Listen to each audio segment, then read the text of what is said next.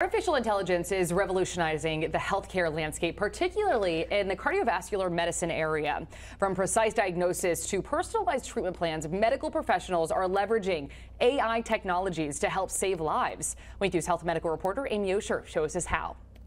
I think AI allows, allows us to do things that we couldn't really do before. It can see things that we couldn't necessarily see before. Radiologist Albert Hsiao's team at UC San Diego School of Medicine has created an AI algorithm that measures heart function and detects heart disease earlier than ever before. There are algorithms that we've developed for enhancing the image quality, giving you image details that you couldn't get before, leading to more precise diagnoses and better treatment plans.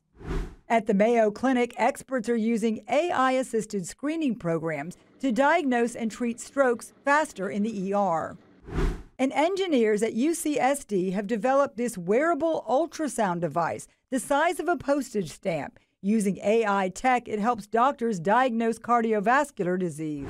But how accurate is AI? A study out of Stanford University determined AI outperformed human assessments. Things that take years and years to train an expert physician to do, uh, these algorithms can do automatically and give uh, even non-experts an ability to see uh, the abnormality.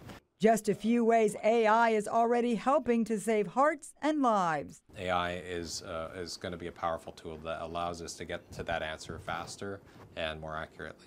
Amy Osher, Wink News.